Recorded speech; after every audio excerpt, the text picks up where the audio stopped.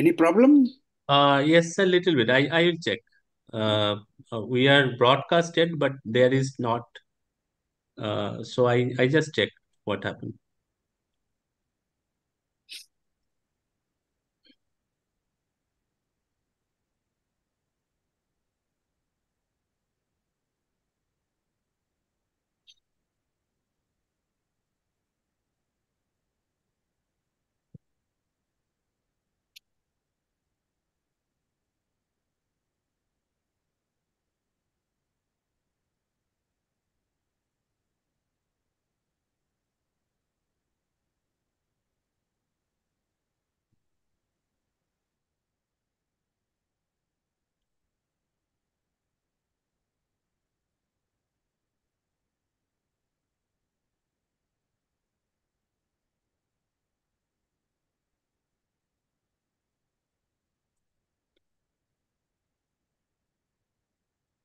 Just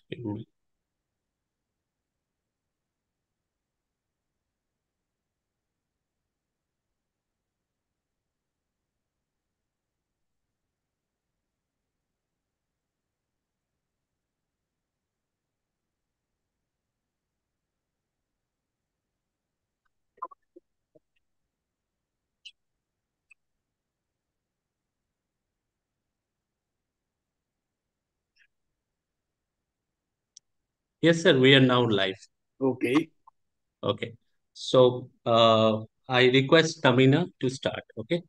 Uh, thanks everyone uh, for joining. This is our 65 webinar in this series, and today's webinar is very special for all of us. All of us, when we are start our journey in BSc, MSc, we always follow few textbook and most of uh, written by uh, Professor P.K. Gupta. And uh, we are very glad he is accept our invitation. It's very, very new platform, Bioingene. We just started in 2020. But uh, we're very happy. People are connecting uh, very fast with the Bioingene, and we are bring we are able to bring such eminent personality in this platform. Today, uh, I request him that we all know your success story. I already shared many of his publications. Published Plant Biotech Journal also uh, published a special issue on him. So, uh, but our focus will be today is uh, the failures part and uh, what will be the suggestion, what we should do, uh, what will be uh, our role in modern agriculture, in uh, in mod in uh, progress of our nation's cultivate uh, agriculture and others neighboring countries uh, in Asia and uh, related countries. So we are glad we received about 2,200 registrations uh, from um, more than 70 countries in the in in this for this webinar. And uh, as you know, we will give the certificate uh, for the participation who already registered for it, and the link will come at the end. So please don't put a request for certification and feedback during the webinar. You put your questions. We like to, i i am i am collecting all the questions. My friend dr tamina islam from dhaka university department of botany today helped me to conduct this webinar i hand over to tamina to introduce bioingene to introduce uh, sir and uh, obviously what we are going to say is very limited very few of uh, his achievements there are a lot of achievement he did, uh, not only the um, academically, socially, and obviously for teaching.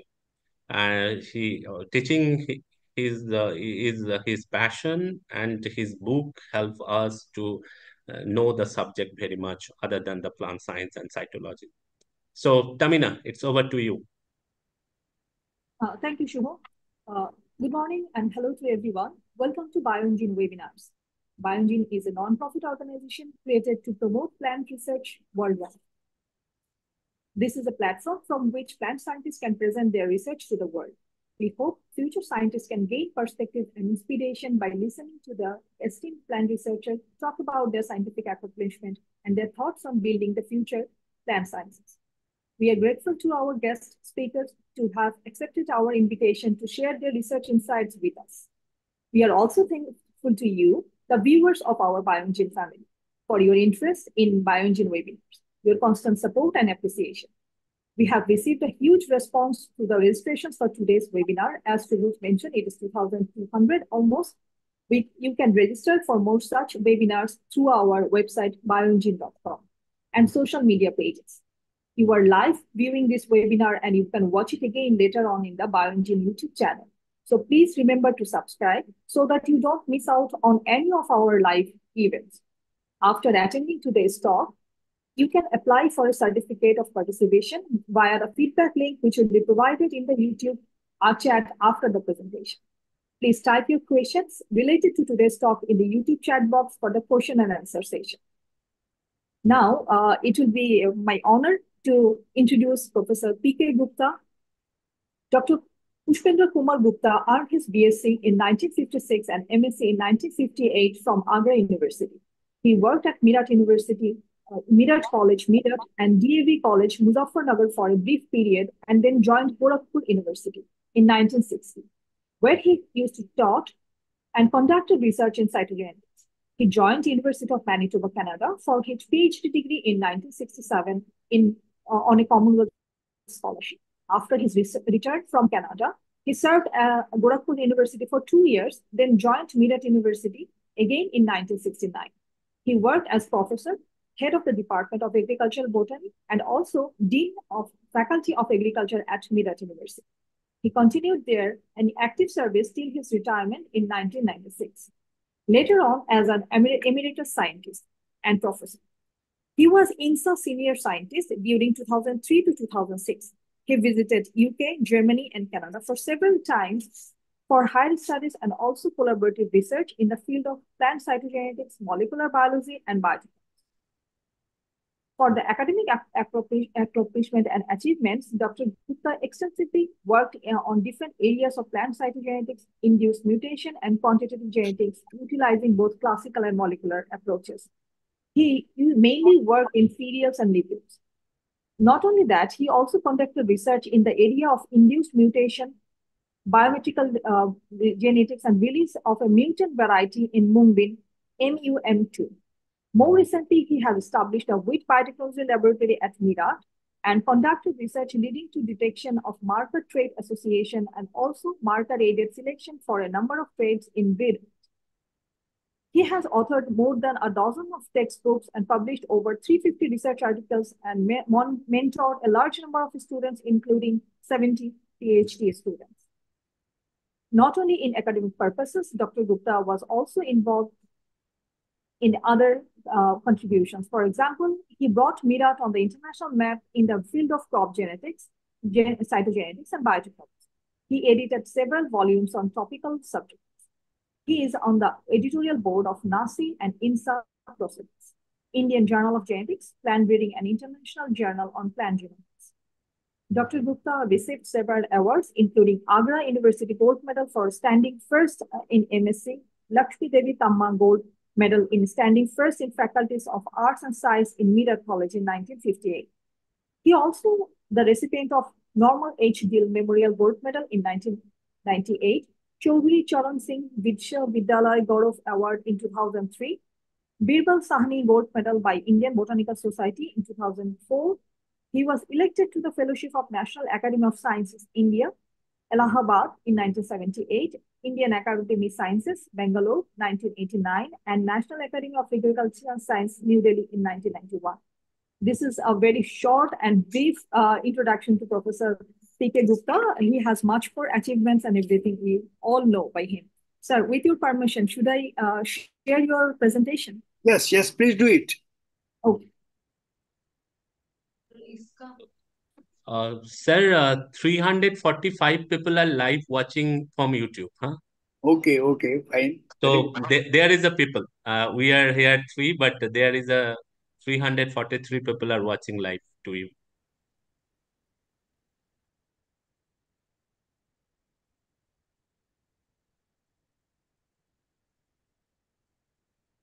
Sir, I have shared your presentation. Just Very good. tell me next so that I can change the slide. Yeah. Yes. This this presentation actually is a presentation which I made on my 85th birthday when my department celebrated my 60 my 85th birthday some two three years ago and you see because i completed my master's degree in 58 and then started research so it completes almost 65 years of research. But these 65 years of my career have been full of opportunity challenges serendipity and good luck. I've used these four adjectives very carefully opportunities, challenges, serendipity, and good luck. Opportunities mean I got opportunities when I never expected it, but I never lost the chance of utilizing the opportunities when we had it. I had many challenges during my career when people thought that I will not be able to do it, and I demonstrated that I can do it even at a place like Meerut. Because many people during these 65 years thought, why did I stay at Meerut? Many people used to question me, even today. People think because Dr. Swaminathan and many others requested me and offered me that they will get me a position in an agricultural university. But for some reason, I stayed back to Meerut because I had some affiliation with Meerut, and I thought I should demonstrate that I can do what others are doing at, at other places. Our department actually started with Professor R.B. Singh and Punjab Singh also. In 69, we were the three persons in agriculture field, Dr. Ram Badan Singh, Punjab Singh, and myself. R.B. Singh and Punjab Singh left within three years in 72, and you know that they occupied very, very important positions, both of them. But I stayed back. I stayed back. They went into administration and did a lot of administration, but left research. But I continued research, and despite all administrative responsibility which I had in this university of Ch- Chaudhry Charan Singh University, which uh, used to be Meerut University earlier, and during these 65 years, I never stopped. I never stopped.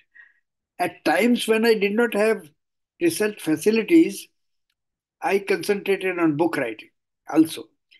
And one of the examples is that 1990,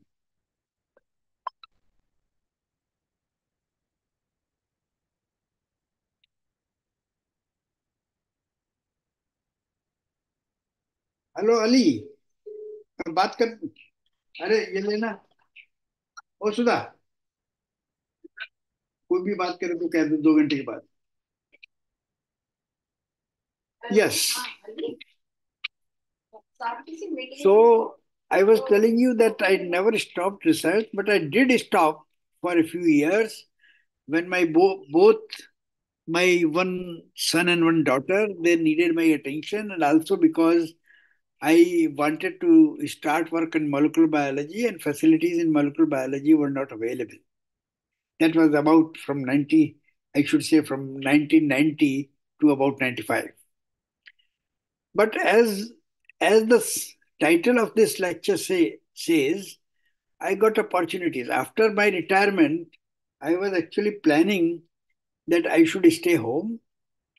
I built a room particularly for the purpose of studying and reading and writing, but never utilized that facility because in 96, Chitranjan Bhatia, who was the Secretary Department of Biotechnology, invited me to Delhi. He used to like me somehow and told me that why did I not apply for any grants and funds to do with DBT? And I told him that I thought I will not get it. So he told me that I have to develop a lab in wheat biotechnology at Meerut and he will provide me with funds whatever I want. So I gave him a proposal for a three-page proposal, and he sanctioned the money within no task force, no no reviewing. Within three within about a week, he sanctioned me what I wanted. And that started, Akhilesh Tyagi in Delhi University says that was a reincarnation. In 1996-97, my retirement was celebrated. Many people attended from India and abroad also. We had a symposium in 1997 after I retired. And during that symposium, Akhilesh Tyagi remembered that and he said that he attended my retirement and then I had reincarnation and from 1996 till today, never stopped, never stopped. Fortunately, funding agencies also cooperated, kept on giving me funds. And this is how many of my colleagues in the country say that I did more research after retirement than I did before. And my list of publications uh, is now more than 500. It's mentioned 350, but because that was an old, old uh, CV, but now I've crossed uh, 500. And you know that during this period after my retirement, I produced some of the students, including Rajiv Varshney, who became Fellow of Research, Fellow of Royal Society, London.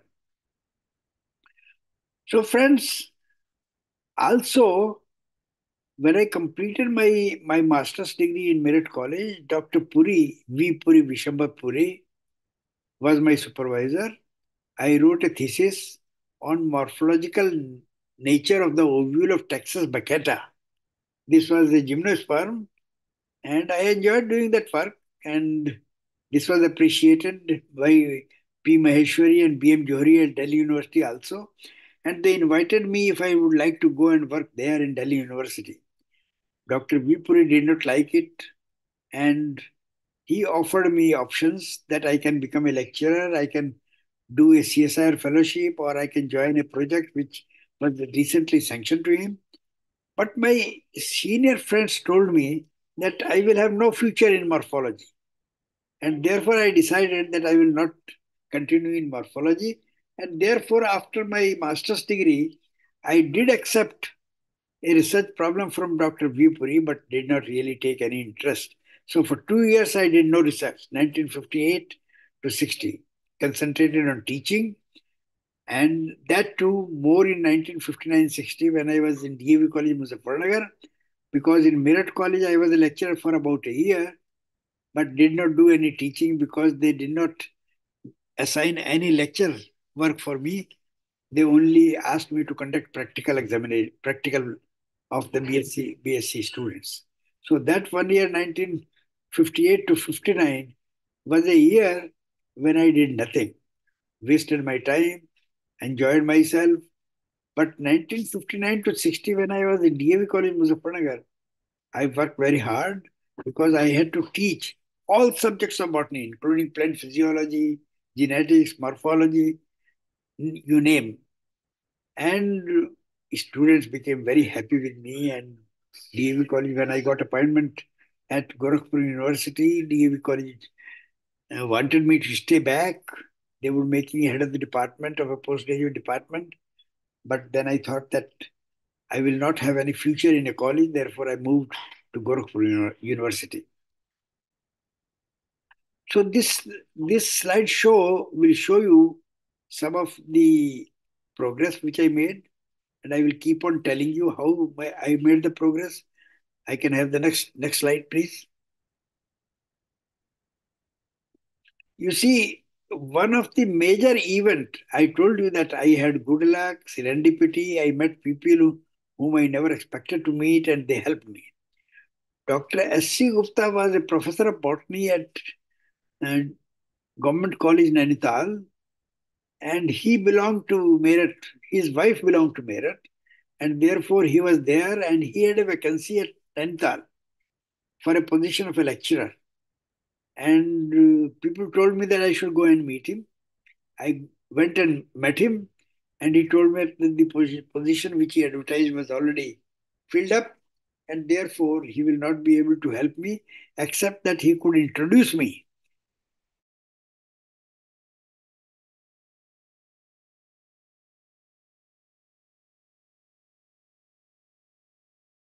By Dr. S.C. Gupta to Professor K.S. Bhargav changed my life, changed my life because Dr. K.S. Bhargav, when he saw my, my CV, he was greatly impressed And he thought that this young boy can do anything. And therefore, he invited me to join the department on the condition that I will teach genetics and forget about morphology. And I accepted this challenge. I never studied genetics in my master's, but full course in genetics. I had to teach in Gorakhpur University for four years before I left for Canada on a Commonwealth scholarship to complete my PhD. Next, please.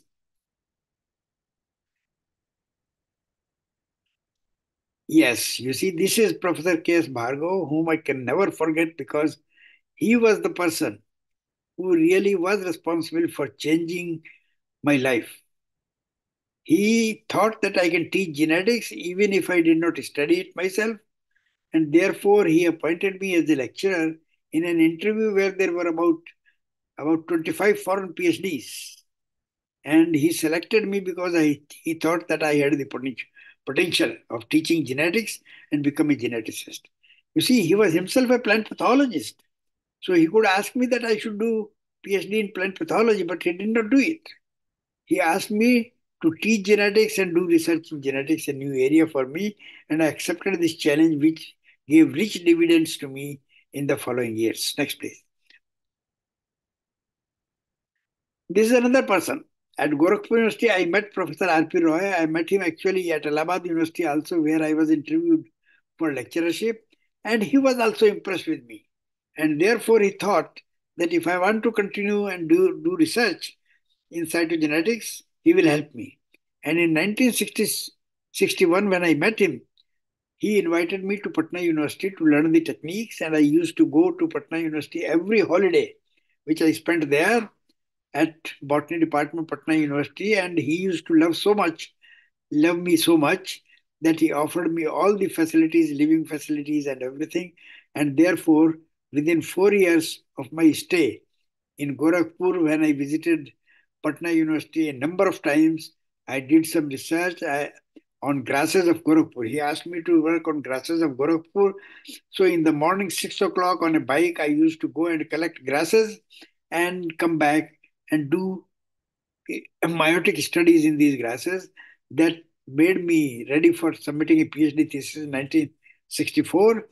But my PhD thesis was never submitted because I stayed for two, three months at Patna University with my thesis with the intention of submitting it. And Professor R.P. Roy was a leisurely person. He never wanted to work hard, and he told me that he will uh, look after and correct my thesis whenever he has time and this was never done. So he told me that you go to Canada and do your PhD there. This PhD is nothing. So I then, without submitting my thesis, which was really written, complete thesis was written, I left for Canada and did my PhD later on. Next, please. See, this is what I did at Patna University. I learned how to study meiosis using anthers and studied grasses of Gorakhpur, published my first paper on the taxonomy, grasses of Gorakhpur in Indian Forester, and then also studied on apomixis in grasses because while studying meiosis in, in grasses, I came across uh, some of the taxa which had abnormal meiosis, and that led to led me to study apomixis and published a few papers in apomixis in grasses also. And as, as I told you, I completed my PhD thesis, but never never submitted. Next. Then in 1964, as introduced, I availed Commonwealth Scholarship and completed my PhD in a record period of two and a half years. I went in September 64 and came back in April 67. Within two and a half years, a thesis in which I used to count chromosome numbers of about 60, 70 plants every day. So I used to work from 7 o'clock in the morning to 12 o'clock in the night. Used to pick up the last bus for my for my residence. And during this period, my wife uh, also, because uh, before going, I got married, and but my wife could not accompany me, so he, she joined me in 1965, and uh, she also had to spend difficult time because I hardly had any time for her. But she she helped me in, in many ways. The problem which I handled there, you see, a supervisor, a PhD supervisor, should give you a problem which is workable. There should be no uncertainty. This is the advice which I give because if you give a problem and then after one year you change the problem, the student suffers. But B.C. Jenkins, who was the secretary organizer of the first International Wheat, Wheat Genetic Symposium in 1958, he was my supervisor and he gave me a problem using rye monosomic substitution. Wheat rice substitution lines was a major project in in Manitoba University, and he gave me seed of three important lines, which were monosomic substitution lines, a wheat chromosome replaced by one rye chromosome. And he wanted me to determine, work out the homologous relationship between the rye chromosomes and the wheat chromosomes. I did not even know at the time that chromosomes can be substituted. But this was a big project, and, and after giving this project, he never supervised me. He had to leave the university next year, and I was at my own throughout my PhD work with no supervision except that the seed was given to me and the problem was explained what I have to do, and therefore without any supervision. This is why I say sometimes that I had hardly any mentor in my life. I have no paper published anywhere with my mentor or my supervisor. I had no paper with Professor K.S. Bhargav. I had one or two papers with Professor R.P. Roy and had no paper with my PhD supervisor, B.C. Jenkins. And later on, I was placed under the supervision of another person, Ed Larter, who joined in place of B.C. Jenkins. And he did not know very much. Therefore, I had to submit my thesis without any correction by the supervisor. And this, of course, and then my my PhD thesis also, I wrote two papers and gave it to my supervisor for correction and for submission for publication, and he did not do it. And therefore, I told him that I will publish it myself without your authorship. And therefore, I published one or two papers from my thesis without any other, in single authorship, without any supervisor. So I hardly had any papers with my mentors, as I told you. And then working homology between wheat and rye chromosome. And this homology between wheat and rye chromosome was to be determined. You see, Dr. E.R. Sears, who is the world wheat cytogeneticist, he determined homologous relationship on the basis of morphology of the plants. Null tetrasomics. He compared null tetrasomics with normal wheat plants, and if the null tetrasomic was comparable to the normal plants, he believed that the rye chromosomes compensated for the wheat chromosome. But this was not the approach which I followed. I followed approach of compensation at the gametic level. There are two types of gametes which are formed, 20 wheat chromosome plus 21 wheat chromosomes, and another was 20 wheat chromosome plus one rye chromosome. And I had to work out whether the gametes with rye chromosome can work as well as 21 wheat chromosomes. If they did, it means rye chromosome is compensating for the missing wheat chromosome. So this worked fine for me. And I completed my PhD thesis, published a few papers. Next, please. So after more I came back as introduced. I came, I came back in 1967. I started working at Gorakhpur University and I was in the botany department, therefore no, no field facilities were there and doing the same thing which I was doing before, going on a bike in the morning and collecting grasses and then working out the chromosome number. I got one very good students who used to work like me from morning to evening and therefore during those two years, 1967 to 69, we published a, about a dozen papers in important journals on the basis of chromosome studies in grasses. Next, please. Four new areas of research I pursued during my long career, about 50 years at Gorakhpur University, chemotaxonomy, induced polyploidy. There are a number of students, mutation research, cytogenetics studies, and then, of course, biometrical, biometrical genetics. This does not include my work on molecular genetics, which I pursued later on. This is only 1970 to 1980. During these 10 years, when I also I joined Meerut University as a associate professor or reader, and then in 1976 I became professor. And during these these 10 years were very difficult years for me because I had competition with Ram Badan Singh, who was head of the department.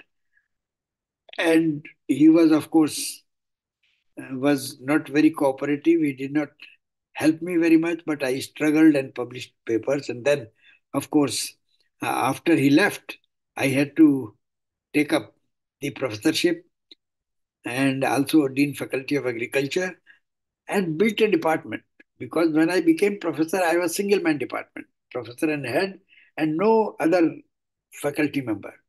Therefore, I had to build the department. Therefore, uh, to cut the story short, within five years after joining, I brought grants from state government, faculty members, about five, six faculty member positions, non-teaching positions, three, and also other grants were brought from, from UGC and by state government.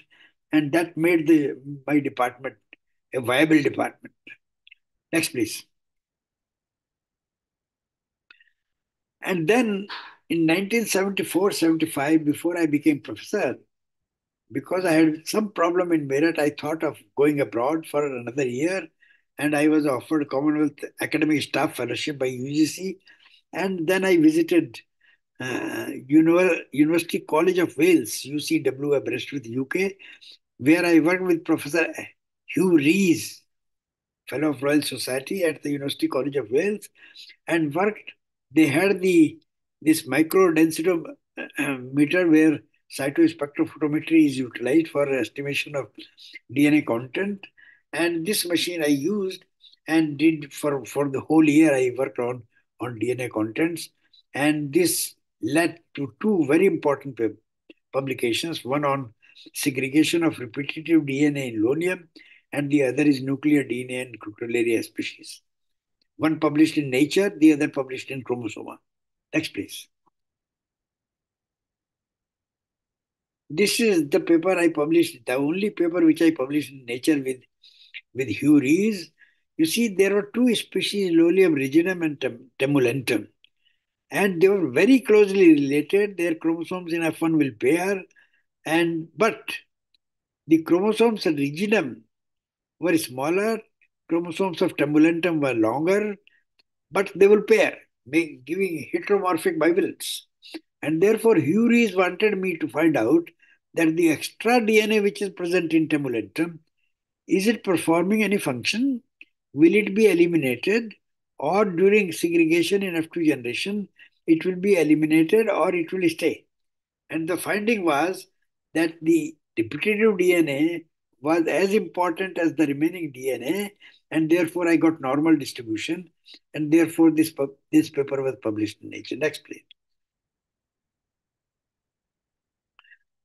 Then, you see, when I became professor, I inherited five or six students who were already working uh, in the area of biometrical genetics, and I knew nothing in the area of biometrical genetics at that particular time. And therefore, I had to work hard, learn from the students. And therefore, there were a number of students who used to deliver lecture in the evening spare time. And I used to attend their lectures. And this is how I learned biometrical genetics. And within a few years, I became proficient. I learned from my students and then studied literature. And it became possible for me to, to supervise a number of students, about a dozen students in this area of biometrical genetics, which was a very, very important area during 1960 to 1980. Next, please. Building a department, I told you about it, and therefore I don't have to elaborate on this. Next, please.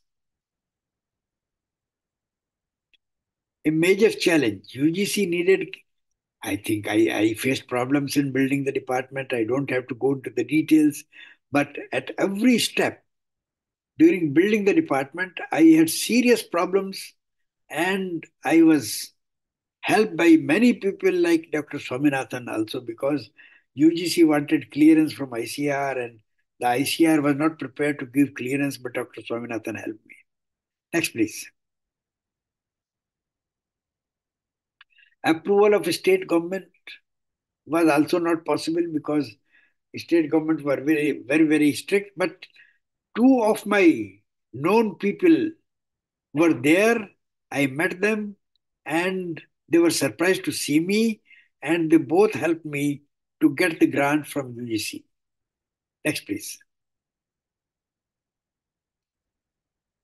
Then, after I could build the department, I continued working on cytology and cytotaxonomy and genetics induced mutations and plant breeding and leading to release of a mutant variety also. That is the only variety which we relieved from Meerut University ever.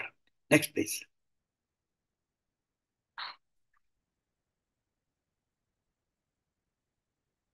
And then you see, one of my student, Harishankar Srivastav, who worked at Bareilly, Bareilly University, Rohilkhand University, and he used to visit Canada on a fellowship, which was called something uh, associateship or something. And he suggested me that I did. I worked in Canada and I never visited Canada again, and therefore he suggested me that I should try. And therefore I tried. And fortunately for me, one of my old class fellows from University of Manitoba was there, George Fedak, and he helped me in getting a grant there. And therefore, from starting from 1984 to 87, 88, I used to visit Canada, Ottawa, every year for three months and publish a few papers. During these 84 to 87, I published about 25 papers in cytogenetics with the help of George Fedak, who gave me the material. He used to work for nine months and I used to work for three months. And therefore, jointly, we published about 25 papers during those three, four years. Then I also met there in Ottawa Bernard Baum, who was a world authority in taxonomy. I published a few papers with him also because I had some interest in taxonomy also. I met another person there by chance again, Roger Wheatcroft, who was working on RFLPs in microbes. and he, who he, I could persuade him to help us in using RFLP technique in Hordeum, and he did that. And that led me into the, the work on molecular markers. And then there was another scientist at University of Manitoba University of Ottawa, Illimar Altosaar, who became famous later on. He visited India also recently. And in 1988, I was with him for six months, worked on RFLPs in oats. And as I told you earlier, from, from this work, after 98, 89, 1988, there was an International Wheat Genetic Symposium also held in Toronto that also I attended along with my, my colleagues from Meerut University. But then because I got involved in molecular markers, RFLPs, and it was so exciting that I did not feel like doing any other research which I was doing in Meerut earlier, and therefore I discontinued research for five years and wrote books, number of books. Elements of Biotechnology, my book, which became popular throughout the country and which was used for preparing syllabi in every university, including IGNOU that book was written during this period. Next, please. And after my super, superannuation, I told you, Dr. Bhatia invited me and gave me the grant. And then again, with, with my good luck, my son was working in North Carolina, North Carolina, Raleigh. He was a computer scientist and he wanted me to visit him. And therefore I thought that what will I do there? For two or three months. So I then I knew that Dr. Z. B. Zeng, Zeng was there, who was a world authority on QTL interval mapping. I contacted him and he said that he was too busy, but he asked me to join the Summer Institute free of charge mm, at North Carolina State University, which I did. And that led me into uh, quantitative genetics or, or QTL interval mapping, which I followed up in India, and therefore we were the first to start interval mapping in India. And then, of course, more recently, I got grant from ICAR, which allowed us to publish papers in the field of uh, epigenetics more recently during about, uh, say, uh, during, during the last five, five years after 2018 or 19. Next, please.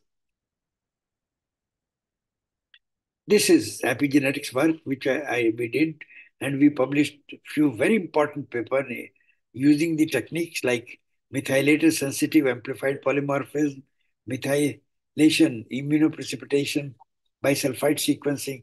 All these techniques were utilized, and number of times we had to take help of people in Delhi University South Campus, plant molecular biology department, and Dr. Akhilesh Tyagi, and there was another gentleman, Saurabh Raghuvanshi.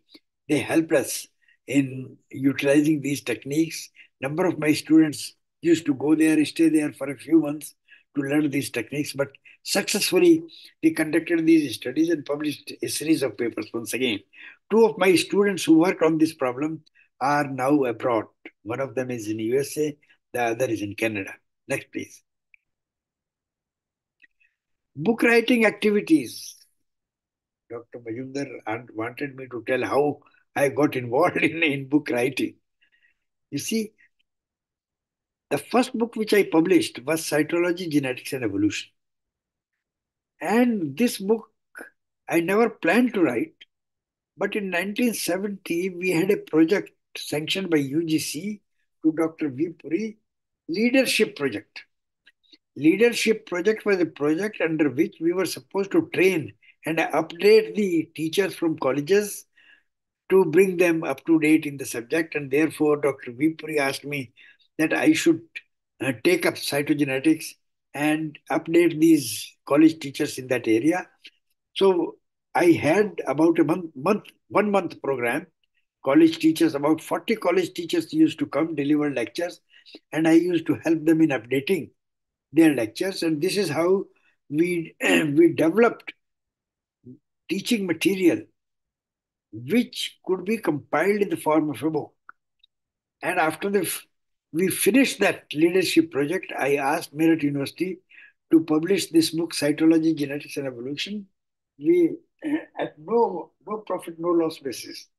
The university did not agree, and the news spread throughout Meerut, and therefore one of my students, who was a publisher, he persuaded me to write this book, Cytology, Genetics and Evolution, which was published by the first book by Rastogi Publications, and that, of course, was the beginning of writing many, many books. I One of the most important book I also edited with Swaminathan, Cytogenetics of Crop Plants, which is one of the best books on cytogenetics of crop plants ever written, which was dedicated to Professor R.P. Roy, who helped me at his 60th birthday. Then another textbook, 1986, I wrote is Genetics, which I dedicated to Dr. Swaminathan on his 60th birthday. And then I wrote Elements of Biotechnology, was published in 1995 then Cell and Molecular Biology in 1999, then Plant Biotechnology in 2010, and several BSc books have been written by me more recently during the last, last three, four years. Next, please. So this activity of book writing was not my choice. I was persuaded by this publisher, and then he never left me alone. He kept on asking for more and more books and I became interested in writing and read, reading and writing. And therefore, I have about 35 books now which have been written. And this became a passion for me. And this is why every book involved hard work so that there are no errors.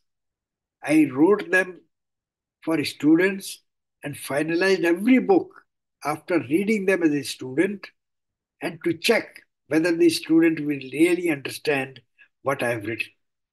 Next, please. Some issues which Majumdar mentioned in his email to me are as follows. I will briefly mention about it. Career in agriculture. My career in agriculture from botany to agriculture. You see, when I was a MSc student, even later on, I thought agriculture is not a science, and therefore I used to hate agriculture. I thought I will never go to agriculture and will continue in botany. But to my good luck, when I got Commonwealth scholarship, I was placed in agriculture faculty, Department of Plant Science, University of Manitoba, and I had no option. Because genetics was not available there in University of Manitoba in the botany department, it was available only in Department of Plant Science, Agriculture faculty. And then that was the beginning of my career in agriculture, which I selected not by by choice but by compulsion. And I am I was so lucky. You see, this was also incident. I was ordained that my future will will depend upon agriculture, not in botany. I didn't have any future in botany. I had a future in agriculture. Therefore, God ordained that I should shift from botany to agriculture. And therefore, I had a lot of stress during PhD and later in my life, as I told you earlier. There were also failures in research because uh, this needs planning, and sometimes I did not and did not really plan. But I had very few failures in research because I carefully chose the research problems and kept in mind always that there should be minimum failures. Therefore, I sometimes I selected very easy problems, keeping in mind that I will never fail. So failures in research also depend upon taking up a problem which may be challenging. Sometimes failures in research lead to you do outstanding research, but that was not, not the case in my, my case. Failure in research were the minimum in my career. Lab and publication ethics among, among students. Yes, of course. That is very, very important. Laboratory and publication ethics among students. I calculated it and I feel proud that I produced many students. And at least 10% of those students, say out of 100, about 10 students, which I supervised, they were outstanding.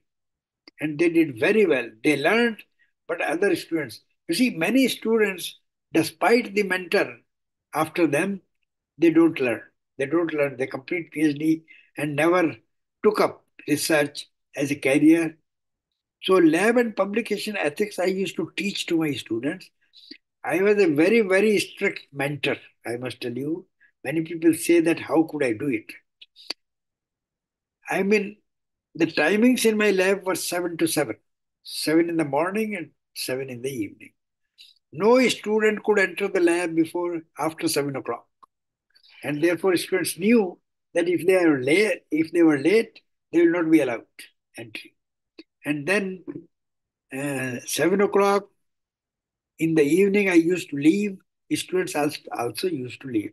So this ethics, work ethics, and because all these years I used to sit in the lab with my students, never occupied my office, and therefore the students could not waste time in no gossiping.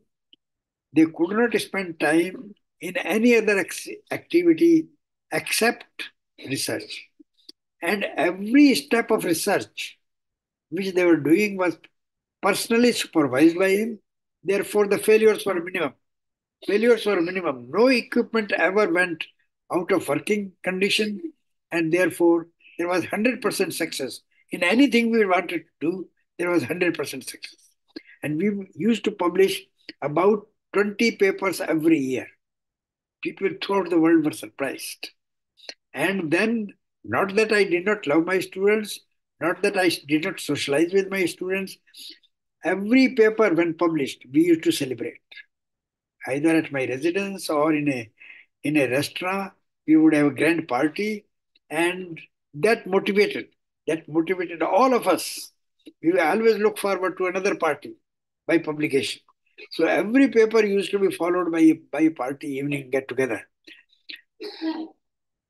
Future plant science research, that is a very, very broad topic.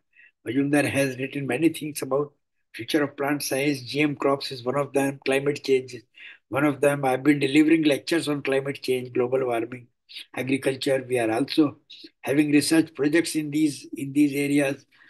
And then to what extent biofortification also we had research, research projects these research projects had success.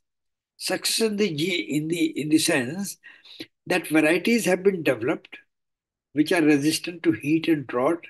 Varieties have been developed which are fortified with iron and zinc.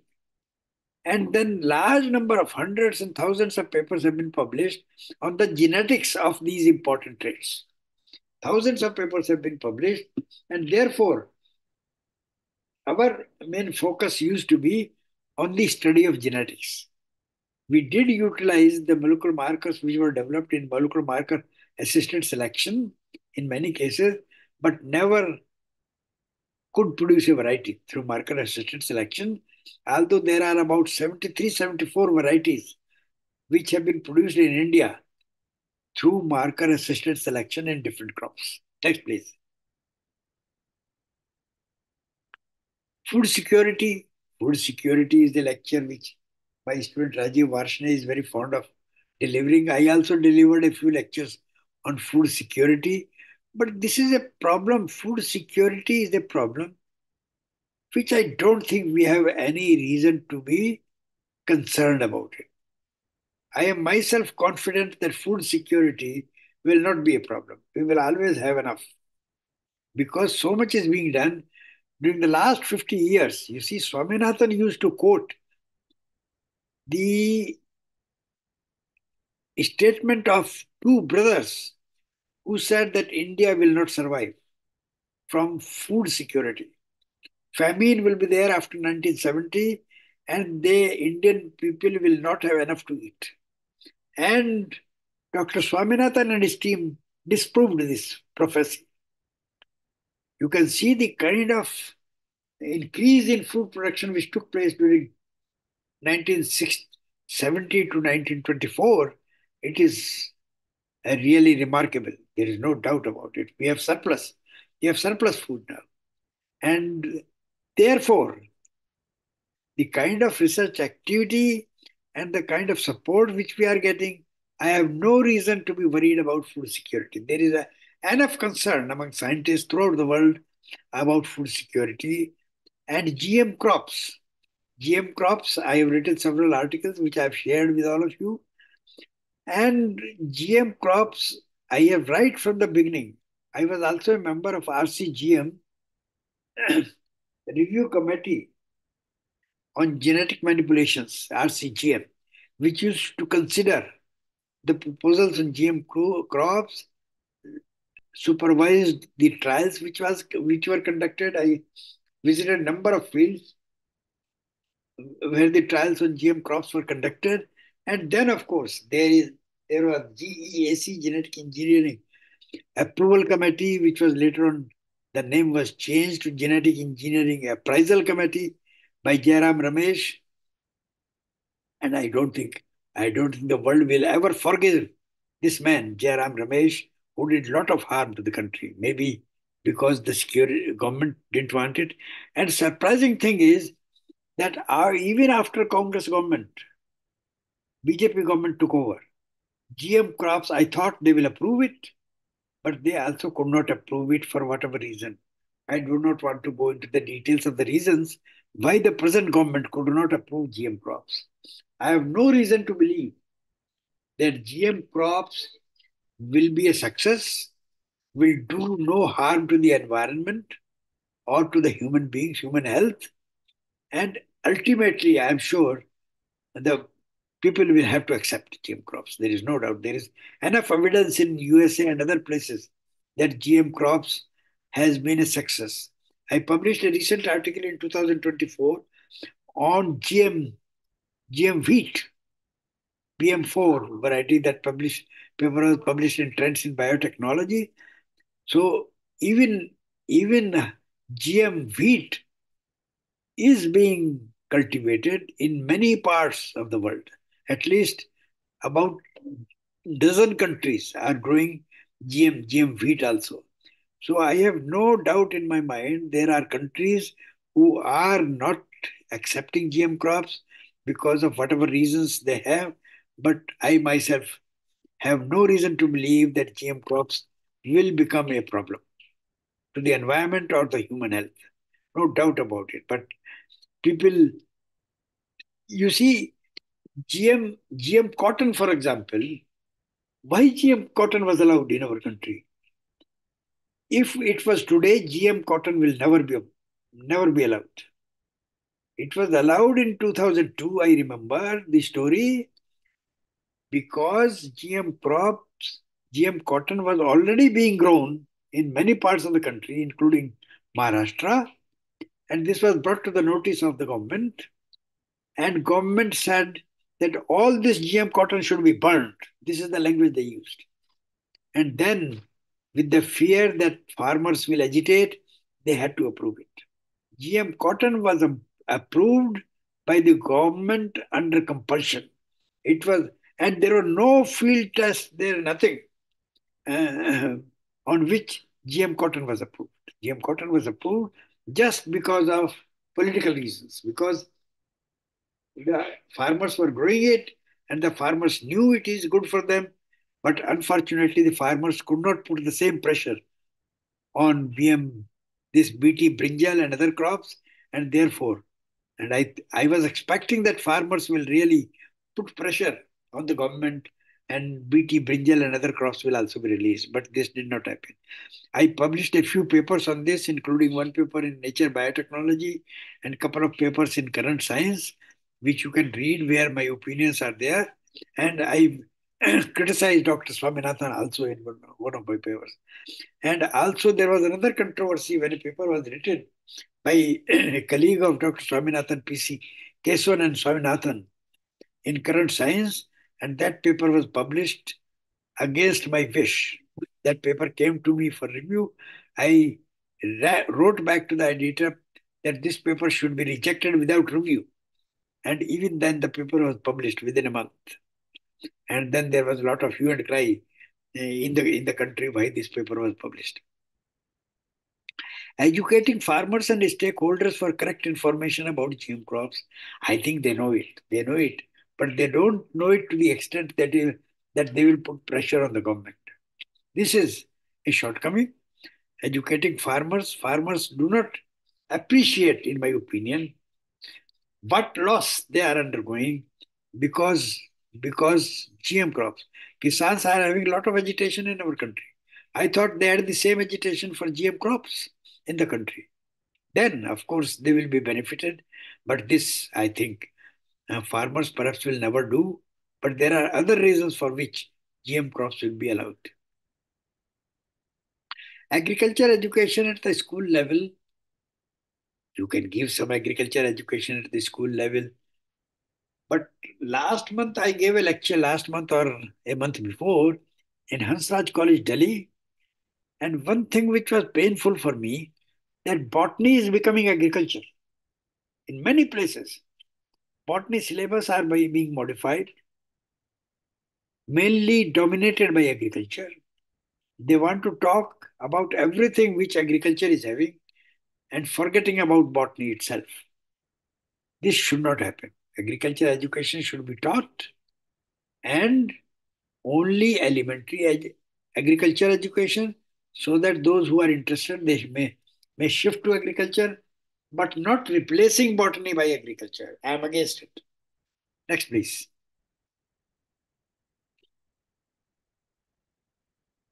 Management of time, attract or motivate farmers, desired change in Indian agriculture, advice of our students. You see, management of time, I told you that management of time is something which is very, very important. I always manage my time.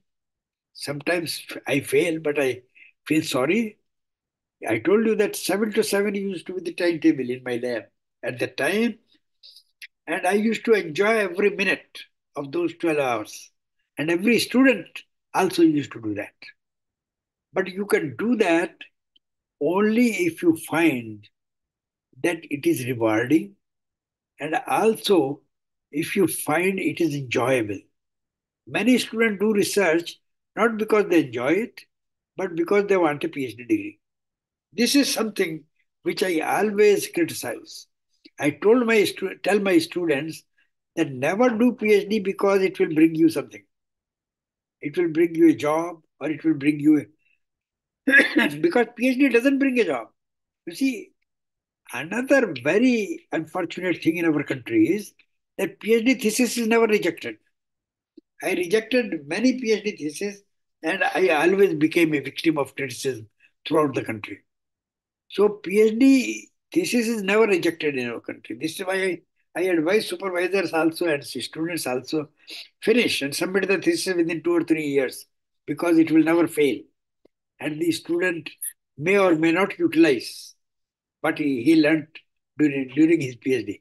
So management of time is important for those who enjoy research, who want to make progress and take research and and and the subject of agriculture or genetics as a career, but not for those. You see, many of my students were such that they thought that they cannot really follow what I want them to follow, and therefore they can they they left. Many students sometimes come, come to me and tell me that he, he's not enjoying it. So if, if a student comes and tell me he's not enjoying it, I always advise him to quit. I don't uh, tell him tell him that he should continue. Attract or motivate farmers. I think extension activities should improve. Extension activities are poor in our country. There are full extension departments in agricultural university, but they are not doing the job. They are not doing the job. And therefore, extension activities should improve. And these extension workers should have full knowledge about what they had to tell the farmers. Desired change in agri- Indian agriculture, I don't have much to say. Desired change. But one thing which I want to say is that whenever there is an important discovery anywhere in the world, we take five to 10 years to adopt it. In comparison to China, they adopted the very same year. I remember I published a paper on, on base editing some few years ago. Base editing was uh, initiated uh, in 2016 by a scientist at Harvard, and China immediately took up. Any activity or any research which is the most important research anywhere in the world, China is the, is the first to follow. China may not be the first to start or discover the technique, but China is the first to adopt. And we never do it. We never do it. We never do it because innovation, innovation is not there in our blood. Even the most important and the most eminent scientists in our country, they are not innovative. They will never develop a new technique. For example, my student Rajeev Varshney also, you see, he did a lot of work in volume, but never gave anything new to the to the world. In the sense, technology, next generation sequencing, genome editing, all these techniques were developed, and new techniques are developed almost every year. And China took take precedence over India for, for example, many softwares, hundreds and thousands of softwares have been developed for conducting research, hardly any developed in India. Mostly the software which are developed, I keep on telling my colleagues and also people at Indian Agricultural Statistical Research Institute that develop the software, new software for doing something new. So software, development of software is not an area of major emphasis in our country. Although databases have been developed, we also developed a database. Development of databases has been an active area of research, but development of software for dealing with the problem. You see, there is so much of data available. How to utilize this data? You need software. All kinds of software are needed to make full use of the data which is available. This is not done. Advice for students and scholars. I have, I always have a lot of advice for students and scholars. One of the advice which I like to give to the students is don't follow PhD just because you want to have the degree because large number of my PhD students are not having good jobs even after PhD because they did not have a passion for doing research. So you should do research only if you enjoy teaching and research. You should continue for research if it gives you pleasure, if it is enjoyable, and if they are not for the job. Large numbers, therefore, 90% of our students don't get suitable job uh, for, for their PhD degree, and therefore, you should do research. But in some cases, like my own career, I did not pursue research for a job. This is why I took up a job before PhD, before doing PhD.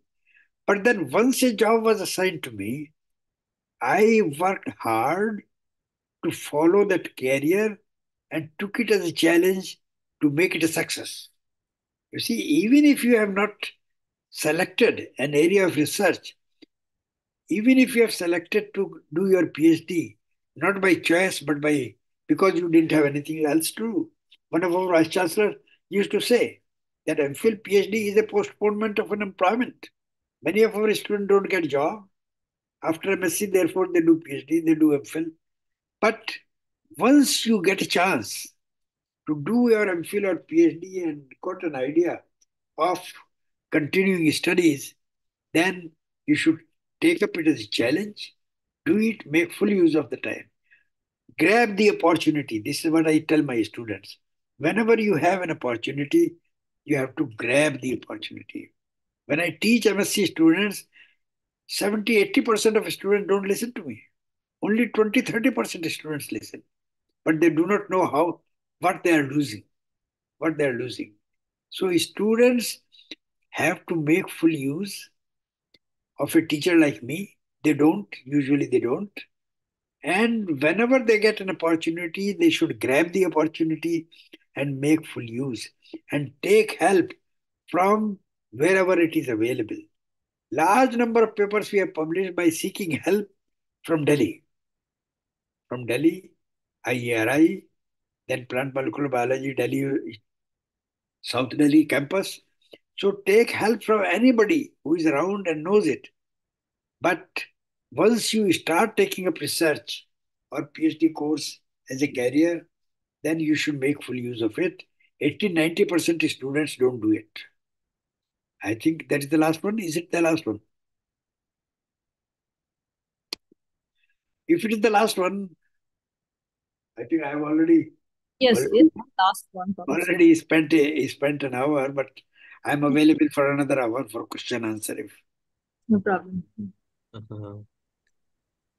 uh, thank you, sir. Uh, actually, you have already covered what were our planning for the question answer. Now we can discuss little bit uh, because uh, many students are joined. Uh, many a few of them already uh, in your class when you taught in your university. Say they so they are very excited. Uh, and uh, uh, right now, currently 614 people are watching you live. So very very much uh, very many people are asking suggestions like uh, i'm think i i thought they are in msc or phd careers early careers Uh, you are already mentioned one thing is the interest. So people are asking you about uh, some suggestions of topics. So uh, obviously when they are very Yeah, new Another, another thing which I would like to advise students is that students, when complete their MSc, they don't seriously examine the opportunities available elsewhere. They end up doing PhD with a supervisor who is available. If four persons are not available, they will go to the fifth one. So the selection of supervisor and the selection of topic is most important. You see, I remember Akhilesh Tyagi in Delhi University used to tell us, I taught him in MPhil. He was at Meerut doing his MPhil on anther culture. While consulting literature, he came across the paper of Satish Maheshwari. And therefore, he left Meerut University and moved to Delhi University because he thought that he can do much better with Satish Maheshwari than at Meerut University. And I, I also did it. I always, you see, I told you that I went used to go to Patna university to learn, and I used to. Even today, we go to Delhi University to learn learn whatever we don't know. So the student should select the area of research and the supervisor very carefully. Area of research also the student normally don't select. They get a PhD supervisor and the supervisor tells them the problem. And then they start doing it. They will never question their supervisor. I would always question my supervisor. Even Hugh Rees in England, when I was working with him for a year, I always used to question him. So, questioning your supervisor and questioning everybody who is teaching you is something which should be inherent in a person who is following. Uh, yes, sir. Um, that is very right way you, you put these things, but uh, yes, sometimes from the students, it's they may, might be hesitant, but yes, we have to learn it. The uh, question means uh, scientific questions we yes, to yes. ask, asked. And uh, sir, uh, one one thing I want to ask you, right? Uh, collaborations. You you uh, you did your very uh, very much. You did collaborative work. Yes, you, yes. in Canada, in And the more than more than what I did is an example of Rajeev Varshney. Hmm, hmm, hmm. Yes. See, most of his progress is because of collaboration. Yes, yes. 130 and 40 countries he Yes, collaborated. yes. Yes, So it is yes, remarkable. He did much better than me, so yes, far as collaboration is concerned. yes, yes. And uh, that is expected. Means uh, every PhD, uh, every mentor, uh, they want to uh, give the space of their students and ahead of him. Yes, So yes. uh, Rajeev Varshney is very uh, good examples of them. You see, And I also, you see, when, when I started my work on molecular markers in 1996, then I used to do, do a lot of collaboration. Whenever I had problem, I will always contact scientists abroad and and seek their help. But subsequently, not many people are prepared. For a person sitting at Meerut, Hmm. people would normally not like to collaborate. But Rajeev Varshney fortunately was at ICRISAT, which was an international center. Hmm. Therefore, whenever he asked for collaboration, people came forward and joined him. Hmm. Yes. So Uh, selection, selection of a job. I remember after working for five years in IPK Germany, he returned to India, sought my advice how to find a job. And you know what I told him? I told him, you don't look for a job. hmm. Visit places which are important, deliver lecture about your work Hmm.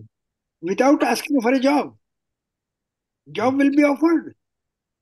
Okay. You see, he, he I sent him before he completed his PhD. I went to, sent him to attend the Crop Science Congress in Germany. Hmm. And when he was going there before his PhD, I told him, don't come back after making your presentation. Hmm. You have to go visit places and make presentations. And he did that. And when he came back, even before his PhD, he had four or five postdoctoral fellowships. People were, were, were competing for having him. And it became difficult for him to make a choice. And then once again, it was hard for him to, to make a choice. And I told him, don't leave cereals. Maximum you can shift from wheat to barley, but don't, don't move to other crops. So this is how he went to IPK. Okay. And so, sir, uh, there is my personal question. Should I, uh, I, I'm working only on jute. So, what is your thought on that? You see, you may work on any crop, Hmm. but work to the level Hmm. that nobody else is doing what you're doing. You Hmm. see, when molecular markers we started, Hmm. many of my friends told me I will fail. Okay. And then I demonstrated that I can do it in Meerut. You see, because when I took up this project, this this project, I did not make a choice. Wheat biotechnology. This was given by DBT. Mm-hmm. But bec- and they gave it because they knew that I know wheat, wheat crop. And we had five or six institutions in the country in that multi-institutional project, and none of them could do as well as I did because I knew wheat. I knew wheat cytogenetics, and I could I could utilize molecular markers to the extent that nobody else could do. Hmm. So when you work on any crop, work to the extent that people start recognizing you as world authority on that subject. Yes, sir. It's nice suggestion. Um, the Tamina, do you want to ask something? So I, Uh, I'll Yes, I have some question for uh, Professor. Uh, yes. Hey, Gupta sir, uh, would you please uh, switch on your video because I think it's switched off. I, I can't see you. Say, say it again. Yes, sir. Your video is off, sir. Can you put your camera on? My, oh, my camera is not on. No, No. I d- we don't think so. Yeah, okay. Yes, right now, right now. Okay, it's it's good. Okay, Tamina, go ahead. Yes, sir. I have some several questions from the audience also and from our side. Uh, so you have shared your amazing journey, and I was just listening every part of journey. You know, like it was just moving forward to the newer and to newer things. So, sir, would you please uh, comment or what is your take on genome editing? Because you have already mentioned that uh, you, you have um, uh, published a paper on base editing and everything. So, Yes, what yes, yes. about genome see, editing? You see, sometimes in your career, you feel attracted by what is being published. In, in 2017 or 18, I remember, I always read in December what was the best work done in that year by whom Hmm. and what is the best best research which will be followed in the next year. So in 2016, after 2016 into 2017, I saw a person from uh, from from USA, Dr. Lee, I think I don't remember David David Liu or David Lee, and Gene Changer was the title given in that article by Nature. Gene Changer, Dr. David Liu. And Mhm. because I was interested in genetics, I, I picked up and I found that he, he uh, proposed gene editing for the first time. And I was so excited that I thought that the student should know it, reader should know it. Therefore, I started writing an article. And I, in 2018, I delivered a lecture in February 2018 in University of Dharwad. Everybody was surprised. Even Dr. Ashok Kumar Singh from IARI, he thought we never knew about it. Mhm. And then he invited me to IARI to deliver the same lecture. Mhm. So you, I think there are not many people who feel excited about reading something new and then understanding it and teaching. Mhm. But I have this passion. Whenever I find something, then I always like to learn and teach about it. For example, I delivered a lecture in Burdwan.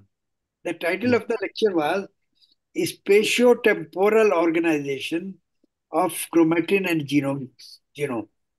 Okay. A very important topic. You see, I- I went to Australia to attend this PAG Australia. 50% of the lectures were on this topic, spatiotemporal organization. Organization for regulation of gene expression, not for uh, any other reason. So, this type of topics, when you come across, do you feel excited about it? Many times just you just ignore, okay, forget about it. But I normally don't do it. If I have time, I would like to learn. Mhm. And when I learn, I feel like writing. And when I write, I like to feel, I feel like like giving a lecture on the topic. to be frank, sir, it's uh, very nice that you have the capability or instinct for writing. You know, like most of uh, us, uh, I, for for me, I like to read. That's for sure. But for me, sometimes you know, for writing, maybe I'm kind of skeptical. So, but uh, for your case, you are always mentioning that you are very much. Fortunately, because of Google Scholar, you are much better placed now. Mhm, You can you can find everything in the world Yes. just on a click. Mhm, Therefore, There is no reason. You see, when I read a paper, the paper mentions about earlier papers. Mhm. Then I go through those earlier papers and then earlier papers, go to the root of the problem in this manner. Mhm. And you should feel excited about it. You sleep in the night, get to the bed with a plan for next day. Right in the morning, my wife sometimes tell me that I don't allow her, allow her to sleep till late. But I normally, this is why many people tell me that why, what time do you get up? Once I wrote a, an email to, uh, to, what was the name of this? Vice Chancellor of, of Punjab Agricultural University, I forgot his name. I wrote an email to him at 2 a.m. And he wrote me back, Do you sleep so late or get up so early? Yeah. Sir, is there any project nowadays like you are overseeing it? Like, uh, is there any project you are working on nowadays specifically? no, no, no. This uh, research project I don't have now Mhm. because funding agencies told me that I'm too, too old. Okay. Sir, I have some questions from the audience. Like, uh, um, few questions are regarding uh, uh, because most of uh, our audience are from students and they are they want to know about your experience and everything. So some questions are regarding as well for the farmers. So uh, I would like to know your opinion about the farmer education because one of our audience. Yes, I, I told you that extension activity is very, very important. Mhm. Extension activity is very, very important. One of my students tells me always that he wants to have a career to go to the farmer and tell them what is happening in the world. Mhm. He, he is passionate about it. And I am surprised that not many students would like to do that. Education of farmers, you see, whatever education they already have, you can always tell them more. Tell them more. No doubt about it. Sir, uh, you have mentioned that you have so many crops, and you already mentioned that you have suggested Dr. Varshney to stay with the cereal crops and everything. So, what is your specific, um, you know, favorite crop you to you work, work on? Like mostly. no, no, no crop. I told I told Majumdar also. Crop is not important. You see, in India, when he got a job, you see, when he came back from IPK, he delivered lecture at at uh, NIPGR. He gave lecture at DNA Fingerprinting Institute, CCMB, and so many places. And then he ended up with ICRISAT. And he sought my advice. I said ICRISAT is the best place. But then ICRISAT wheat was not there. Hmm. So he had no option. But then pulses was very important there. But he opted by compulsion, I think, that he will have to work on pulses. But he demonstrated then that he could work on pulses and demonstrate to the world that he could do what nobody else could do so far. About a dozen genomes sequenced by him on pulses. Mhm. Remarkable, you see. Nobody else could do it. This is why he became became a virus. Mhm. So he had to work on pulses because wheat was not available to him. But once he decided to work on pulses, he demonstrated that he's the best best person on pulses in the world. Yes. Wow, that's true. Sir, there is another question from one of the uh, audience. He said, like, um, he exactly asked that whenever you uh, have you ever faced any barriers during your research evolution from cytogenetics to functional and applied genomics during your early years of career? No opportunity. I was lucky. I always had opportunities available. So I told you that I had very few failures, therefore. So opportunity. You see, for example, after retirement, I thought I will be doing only book writing, reading and hmm. writing. But then Dr. Bhatia called me and, and gave me this challenging workshop. Uh, you see, when when he gave me money, there were four or five other institutes involved. He had to cut short their money and give it to me, and everybody was annoyed with me that this man came from nowhere and is getting funds from our own share. But then, you see, Once I got it, I think I told my students also, including Rajeev Varshney, that this is the question of life and death for me. I have to demonstrate that I can do it. Okay. Uh, sir, uh, for this question, because you asked some personal questions like regarding on his research, and I have also some questions because uh, many of our students from Bangladesh also listening to you through the YouTube, and they have so much of interest of your research because they learn uh, and they read used to uh, they used to read your books for cytogenetics very well. You have mentioned that you have visited Bangladesh and specifically Department of Botany uh, 20 years back. So can you just share some of the words like or some of the experience on that time? You see, one thing, the lecture which I'm going to deliver at Calcutta on May 24th mm-hmm. is teaching of plant cytogenetics. Okay. Mm-hmm. And I am giving this lecture because 90% of botany departments don't know what is cytogenetics, what how cytogenetics differs from cytology and mm-hmm. genetics. Mm-hmm. Cytogenetics is its own discipline. It is not combination of cytology and genetics. Mm-hmm. And it was established long time ago when Barbara McClintock discovered ACDS system. Mm-hmm. So this you see, therefore, tell me what is cytogenetics, if you know. How does it differ from cytology and genetics? I give you an example. Mm-hmm. Suppose you are having a population, mutagenic population. Mm-hmm. And in this population, you study chromosomes, you study meiosis, and you also study genes, mutations. Mm-hmm. So you are doing both cytology and genetics. Does it make cytogenetics? Not really. It does not. Mm-hmm. This is the example which I give to my students also. Cytogenetics is not cytology plus genetics. And with all due respect to Professor A.K. Sharma, he is no more now, he never did cytogenetics. Mm-hmm. He did cytology, chromosome research. Excellent work. And monumental work which nobody else can do. He wrote a book also on chromosome technique, which is still considered to be a Bible all over the world. But then he did not do cytogenetics. In my opinion, he did not do cytogenetics. And I myself did not know the difference till I visited Canada. Mm-hmm. Because that was the best center on cytogenetics anywhere in the world. Mm-hmm. So, would you please uh, like uh, uh, highlight some of the differences between because you, you some of them no, I'm asking like, would you please highlight uh, the difference between cytology and cytogenetics? Because I'm sure some of my colleagues from cytogenetics laboratory in Bangladesh, they're listening to you. Cytogenetics, I explain it with the help of ACDS system.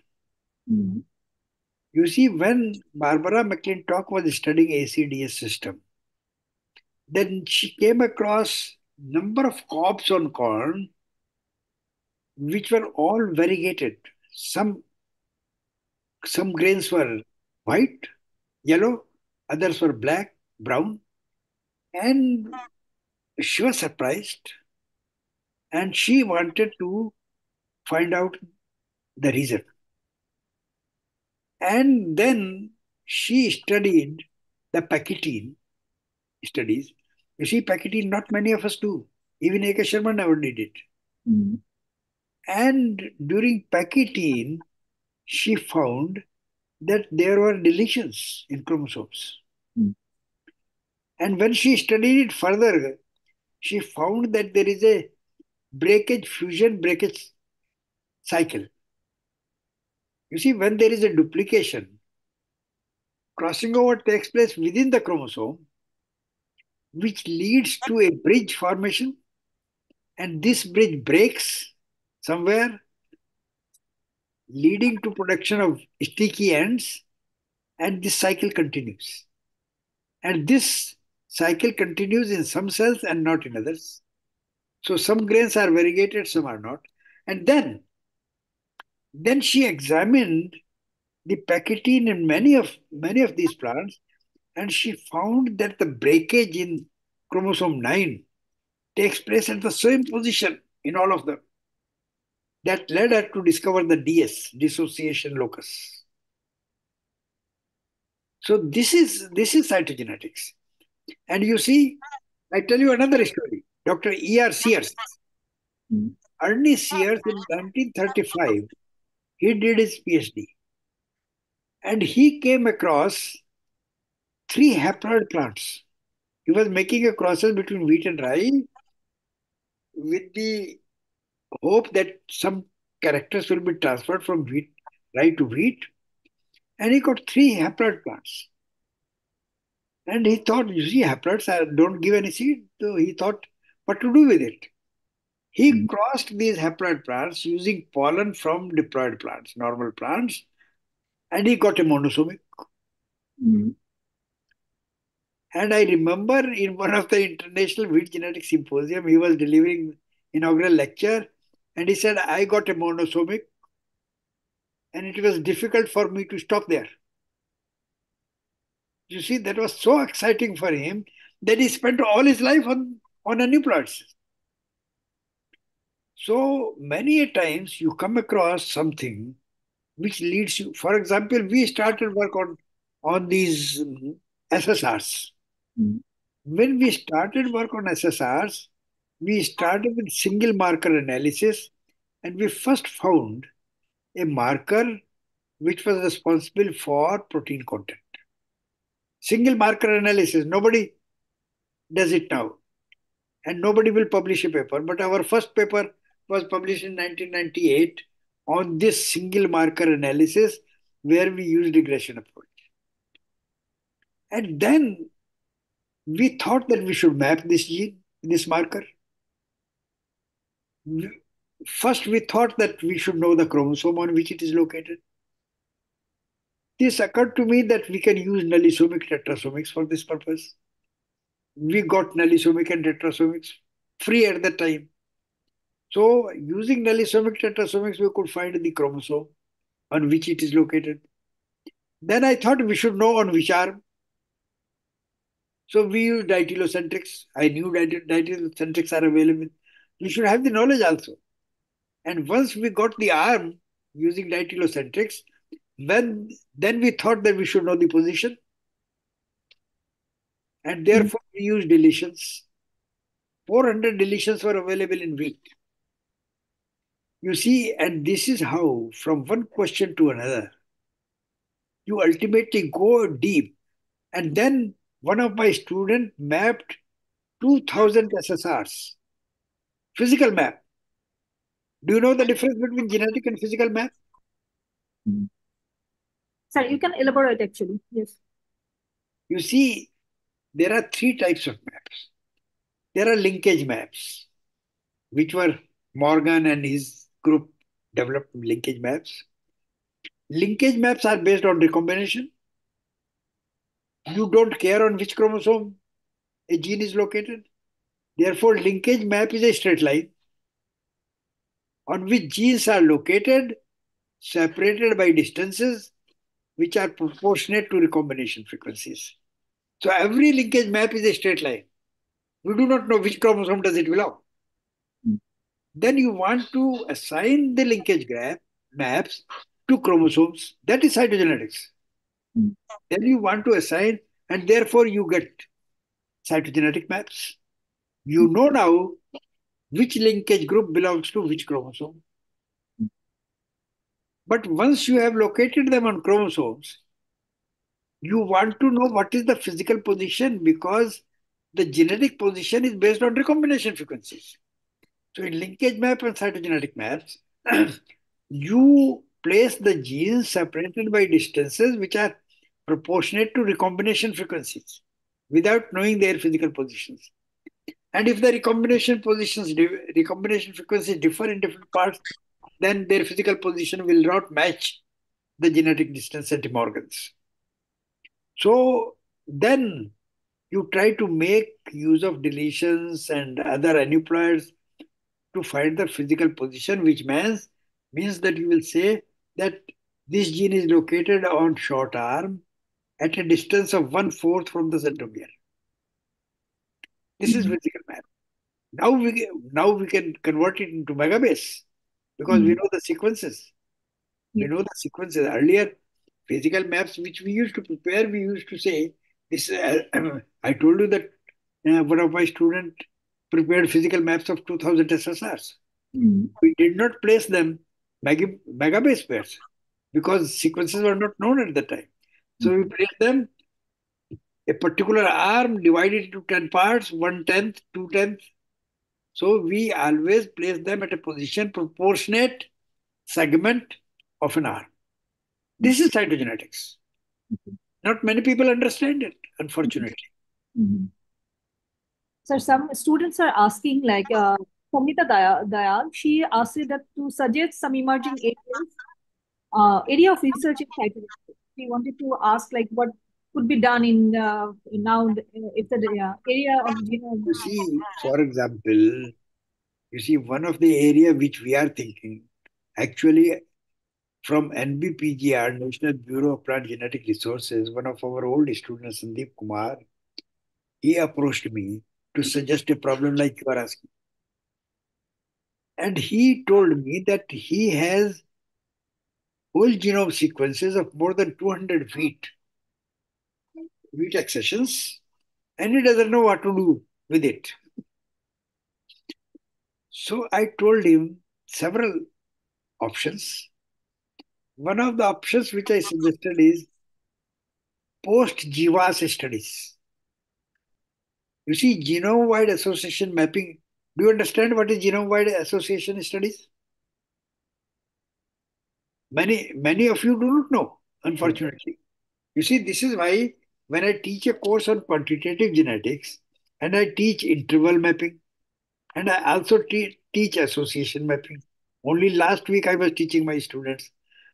But this interval mapping and association mapping, 90% of teachers also don't know, unfortunately. Whenever I go to the university, I ask teachers, who is teaching quantitative genetics? And one teacher will say, I am teaching. I asked her, do you teach interval mapping and association mapping? No, sir. The question is, and this is why I wrote a book on quantitative genetics two or three years ago with the intention that teachers and students will be benefited. And that book is not selling because even the teachers don't want to read it because they will have to make effort to read and learn and then teach. This is what a teacher doesn't want to do. So many of the areas of research emerge mm-hmm. from the questions which you ask yourself when you do research. For example, at least a dozen students in my lab have done this interval mapping and association mapping. Mm-hmm. And then in one of the task forces of DBT, I was the chairman of the task force. The DBT asked me, Sir, association mapping की बड़ा बड़ी चर्चा है we should invite proposals on association mapping. And we advertised. We received about 100 projects on association mapping. And then I conducted the meeting. We shortlisted some of them, projects, about 10 of them. And the principal investigators of those projects did not know what is association mapping. I asked them this question You have submitted a project on association mapping. Do you know what it is? I asked them, Do you know what is multiple testing? None of them knew. Mhm. Then Ashok Kumar Singh, who is the director of IARI, asked me, Sir, you should write a review for us. then we will learn. So I wrote two reviews on association mapping. One was published in 2014 and another was published in 2019. The review which I published in 2019 is in post GWAS. you see, there are number of shortcomings in association mapping. Mhm. We want to address them. Mhm. And how to address them? This is post GWAS. You find out a marker, but you do not know which is the causal arg- causal gene or marker. You Mhm. only know a marker which is associated with a trait located at a distance from the gene, and we do not know what is the distance. Somewhere it should be there. So why should we not, after GWAS study, when we ident we, we call the marker trait associations. You are hmm. identifying the marker which is associated with the trait without knowing anything about the gene. Hmm. So one of the studies in future can be to know these markers with which gene or with which sequence, what are what are the causal SNPs which are responsible for the trait. So in every research area, you can always ask future questions. I always do it. And this hmm. is how I kept on making progress in different areas. Hmm. We always point out the limitations of a particular technique, hmm. but never like to address them. So this NBPGR project, we we already had about dozen meetings on hmm. that on that project. How to utilize genome sequences. They hmm. have more than 200 resequenced genomes, and he doesn't know what to do with it. So hmm. we are planning. Every meeting makes a progress, but we are planning what to do, which nobody ha- nobody else has done. And fortunately for me, I always have ideas.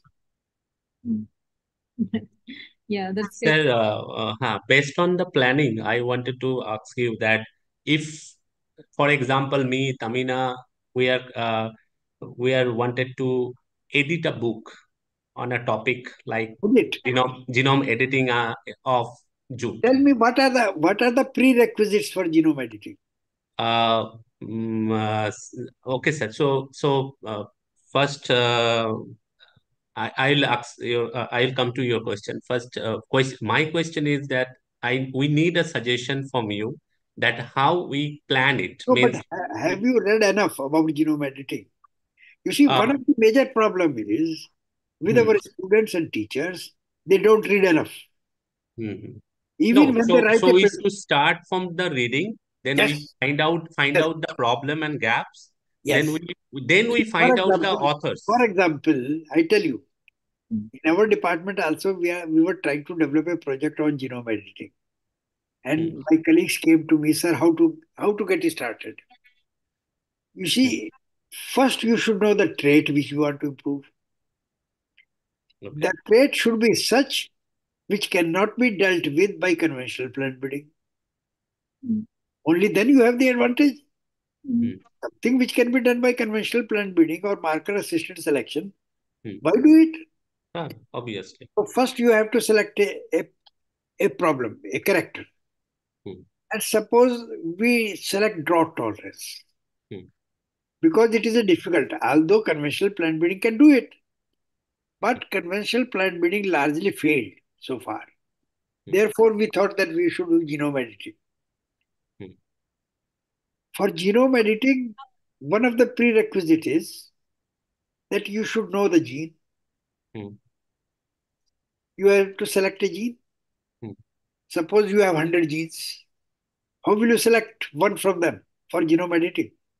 hmm. The most important requirement is that you, you should know the sequence of that gene. Hmm, Gene should have been cloned, hmm, genes should have been sequenced, and in this sequence, you should know the, the nucleotide hmm. which is causal, which you would like to edit. So, have you done this prerequisite?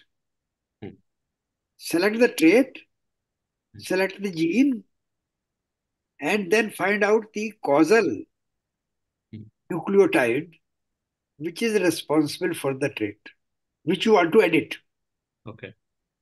Then you will develop guard, guard sequence hmm, by guide sequence.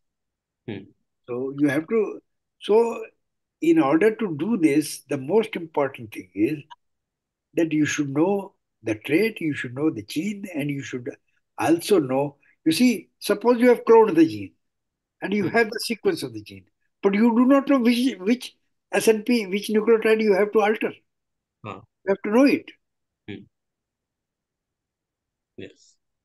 To get the maximum advantage of Yes, editing. yes. Hmm, Because sometimes we start, I've seen many people, they get funds for a project without understanding it, hmm, and then they learn while doing the research hmm, hmm. without doing homework. Okay. So then sir, chances of failures are very high. okay. And uh, sir, for the edited book, uh, if we uh, uh, if someone plan for the some ed editor, uh, his role will be the editor. I am I am against I am against editing books. Okay, so this is, Ask, this is ask me that's, why. that is the reason that Ask, we ask me why. huh, why? When, when, when many of my colleagues tell me, Hmm. you see, you you know the name Chitranjan Kole? Yes. Ah, yes, sir. Yes, I know. 200 books I, he has edited. hmm All these editors who have edited these books, Hmm. I ask them one question. Have you ever rejected any invited article? Hmm. All of them say no. Hmm. A paper which nobody is capable of publishing in a good journal, he will Hmm. submit it to an edited book Okay. because he can't publish it elsewhere. Hmm. And he knows that it will be published in the edited book. Hmm. So, you see, I, I edited books. I edited one book with Swaminathan, Okay. Cytogenetics of Crop Plants. That Hmm. was in 19, uh, that was in 1983. Hmm. And there are about 20 chapters on different crops in this book. Hmm. And they are, each chapter is written by a world authority. Hmm. Okay. But I read every word in every chapter. And sometimes, sometimes returned the chapter to the author, asking him to Hmm. revise. Okay. Another another special issue I edited for National Academy of Science, Allahabad, on Hmm. epigenetics. Okay. And we invited articles. Hmm. One of the article which was submitted by Sushil Kumar. Hmm. Have you heard that name? Mm, No, sir. I Sushil did. Kumar was the director of CIMAP. Okay. He was uh, he is a Shanti Swarup Bhatnagar awardee. Ah, He, is no more now. So Sushil Kumar, we requested him to write a write a lecture, write a, a chapter, Hmm. and he wrote a long chapter with dozens of uh, figures. Hmm. And Rakesh Tuli was another editor with me. Ah, I I know Rakesh too. So Rakesh Turi said के doctor साहब ये इसका article लंबा भी है तो इसको कैसे हैंडल करें? तो I said send it to send it to me तो I read that article and reduce to to half eliminating many figures and then then send it back to Sushil Kumar अरे he he was furious. He said, "How Yes. could you, how Ah. could you do this to an Ah. invited invited chapter? You first invite and then do this Hmm. nonsense." Hmm. I said, Sushil Kumar, not only I am asking you to revise, and I, I have revised it for you. Hmm. So reducing your work. But perhaps you do not know that I can also reject it. Invitation does not mean Hmm. it will be accepted. Hmm. So edit a book. You see, Rajeev Varshney also, he has Hmm. edited so many books, but he never reads any chapter. Hmm. He doesn't have the time. Not that he's not capable of doing it. He Hmm. doesn't, because he engages himself in so many activities. If he's editing a book, he has no time. He edited two books with me, also cereal genomics. Okay. While, while working with him, I, I found that he never read any chapter. Hmm. So, if you want to edit a good book Hmm. on a topical subject, Hmm. select a topic, Hmm. select authors who are outstanding in their area, Okay. and then read the paper, send them for review to good reviewers. Hmm. You see, one of the edited book of jute. Yes, Hmm. I come to jute. Chitranjan Kole has edited a book on jute. Uh, Jute Genomics, I think.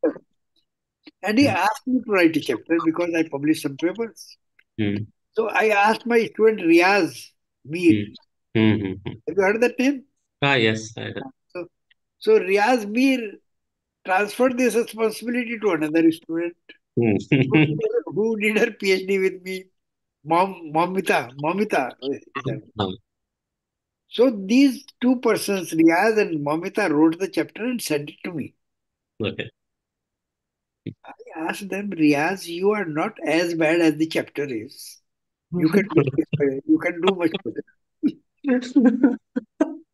तो वो बोला साहब मैंने सोचा doctor साहब आप ठीक कर देंगे मैंने कहा देखो ये दो बुक चैप्टर जो है Hmm.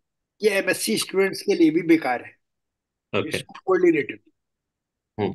और if I have to do it I will I will have to rewrite the whole chapter therefore it is better that you publish it without my name okay I removed my name from the authorship and the chapter was published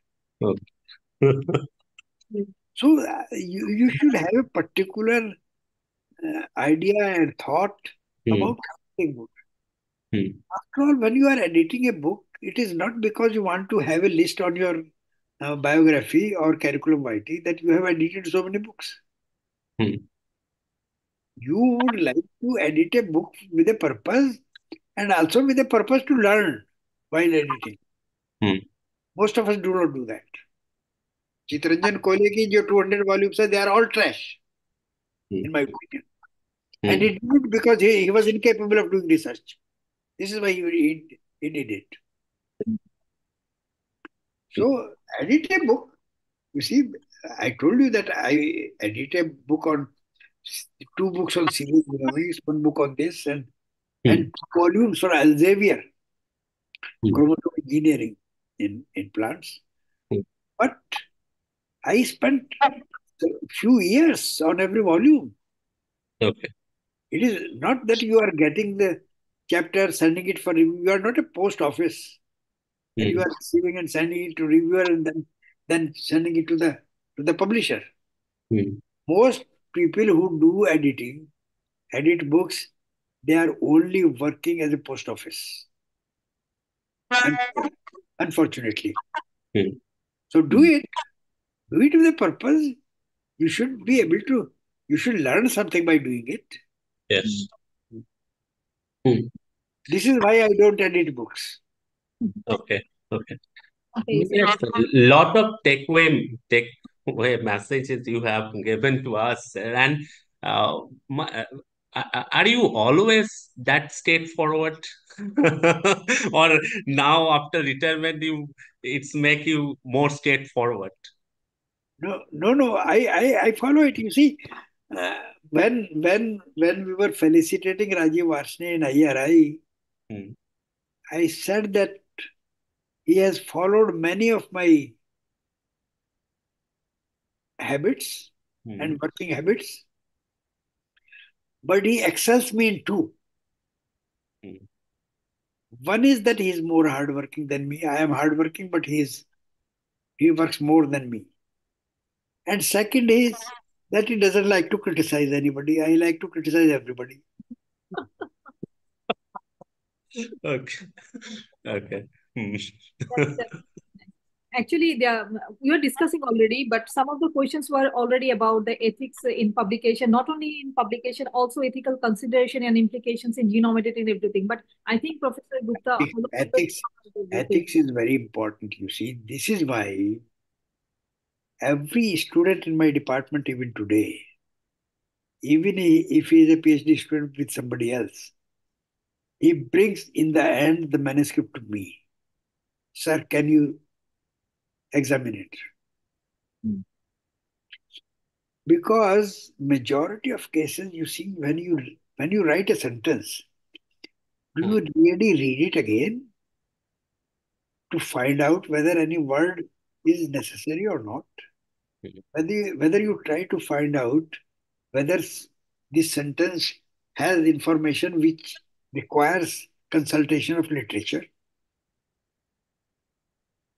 When a student comes to me, he has to sit with me and I consult dozens of papers in the literature before finalizing any manuscript. Okay. Majority of teachers don't do it. They leave it Hmm. on the student And when I Hmm. do it, I find so many mistakes. The student has written something, cited a paper which does not have that information. Okay. So, do you really verify Hmm. that the paper which you have cited does have the information which you for which you have cited the paper? Hmm. Many, in many cases, this is not true. I can tell you. Many cases, it is not true. Hmm. So this is this is the problem. You see, once Rajeev Varshney sent me a paper which he published, and I started reading, and in the introduction itself, I found a blunder.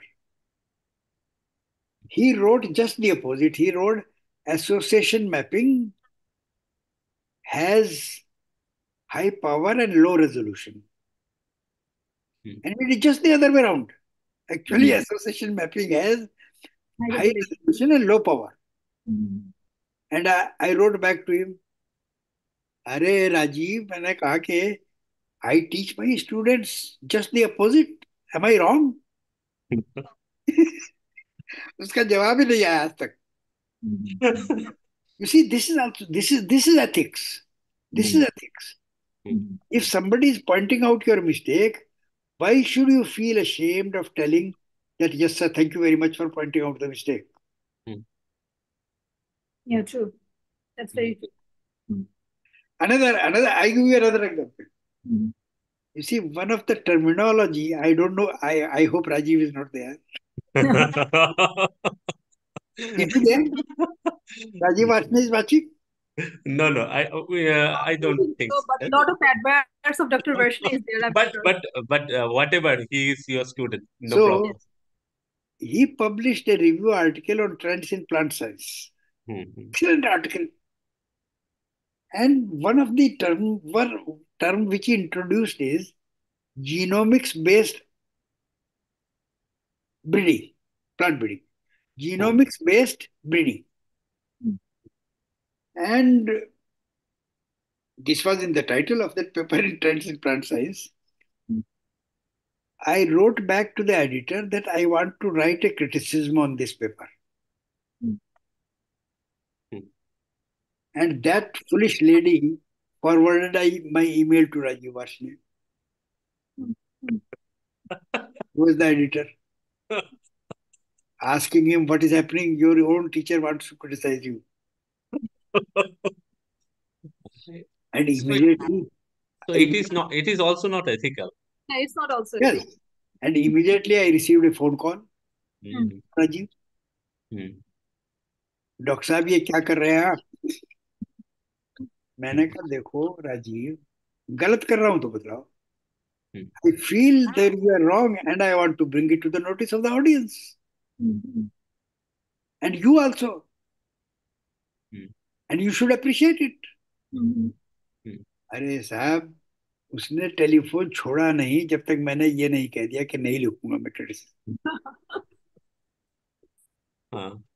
in contrast to this in contrast to this I tell you another thing I Dr. Swaminathan was very fond of evergreen revolution. हाँ. And he wrote a book also on evergreen revolution. Hmm. That book came to me for review by Current Science. Okay. I wrote, I wrote a review. And you see, I have great regard. Swaminathan helped me at so many places. And he was a remarkable person. I derive a lot of inspiration from him. But he talks too much, sometimes not practical. Hmm. So after a page of appreciation for his contribution, I wrote that Dr. Swaminathan has been talking about our green revolution for the last 10 years. Hmm. I was expecting that something will come out. Either Swaminathan will take steps to bring it to breeding, Hmm. utilize it, or he will stop. Hmm. Nothing happened. He still keeps on talking about our green revolution, Hmm. and and he he started criticizing green revolution. Hmm. So I wrote that green revolution, of course, did harm to the environment, but Hmm. did we have an op- option? Mhm. It was a necessary evil. Transpiration में पढ़ाते हैं ना ये students को transpiration is a necessary evil hmm. Plant transpire नहीं करना चाहता लेकिन करना पड़ता है उसको बड़े yes. हाँ, yes. तो साहब स्वामी करंट साइंस का ये रूल है कि current science sends the criticism to the author and publish the author's comments also okay and Swaminathan comments were also publish along with my criticism and Swaminathan wrote that I appreciate very much the criticism written by Professor P.K. Gupta. In most of the criticism, he is only appreciating me, so no comments are needed there. Hmm. Then he writes that every person has has the freedom of writing the idea which comes to my to his mind, and I did the same. And sign and outstanding scientists like P.K. Gupta hmm. also has the freedom to criticize. Okay. Okay. Hmm. And he stopped, he stopped using the term evergreen revolution after that. Hmm. आपने देखा होगा death से पहले for about ten years he was not talking about it So there are people like Swaminathan who would accept the criticism positively. Hmm, hmm, hmm. there are people like my dear Rajeev Varshney who doesn't like criticism. Hmm. वो Hmm. तारीफ तारीफ तारीफ ही तारीफ चाहता है Hmm. Uh, it- it's it's usual, but uh, sorry, th- these are very nice experience that you've shared. Uh, Right. I think we have learned a lot, not only about the science journey that you have, or also about the experiences that you have as an editor or a writer of the many chapters of the book or book, and also as a public pub, uh, authors of so many publications. So from my side, I think I'm done with questions. Yes, yes, you yes. Uh, yes, we are covered two hours, sir, and uh, it's like a just just times uh, flies, and I hope I hope uh, four five hours will be not enough to talking to you. Uh, let's see, sir. If you, uh, I'm planning to read Calcutta University for attending that type that women that uh, symposium. okay okay yes. okay Let's let's see uh, if it is there. Then I Thank you very much I I enjoyed talking to both of you Uh, th Thank you. thanks, uh, thanks. It- Yes. yes, it's our pleasure. It's our pleasure. We are we are read read read your book, but uh, you are more more interesting. books books books do not give so much idea Yeah, like Yes. as you said, two hours just fly. I actually I didn't realize that it has already passed two hours. Like talking to you is very much interactive, and you uh, Mhm. actually put lights on so many uh, aspects. So it's it was very enjoyable from from my side. I think the audience will also like this. okay Yes, yes, yes. Yes, audience are uh, audience are also enjoying and they are sending the emojis of laughing. And okay Yes. sometimes they are laughing, and still there is a, a few uh, 300 plus audience are there because uh, I already gave the link for certificate application. So people are going to do that thing, but uh, is um, once once upon a time there is a 600 plus people are lively watching you. And uh, this uh, this um, uh, whole session will record it and available here. okay So uh, in in YouTube, uh, but uh, we we appreciate your uh, acceptance and uh, guided us. You thank you you give us very very important some uh, lessons. We will keep it in our whole life. We'll uh, try to remembering you when we got something when uh, and uh, I I always criticize means uh, when I review I I I put many many comments uh, like uh, in, during the review for the betterment of that paper. But uh, now I'll more critics. I will do more criticize. Okay. Sometime I I I for uh, uh, sometime I thought that should I mention that there is should be a comma there is set of no no uh, this type of thing. but uh, if we are not giving that type of thing then writing will not so beautiful.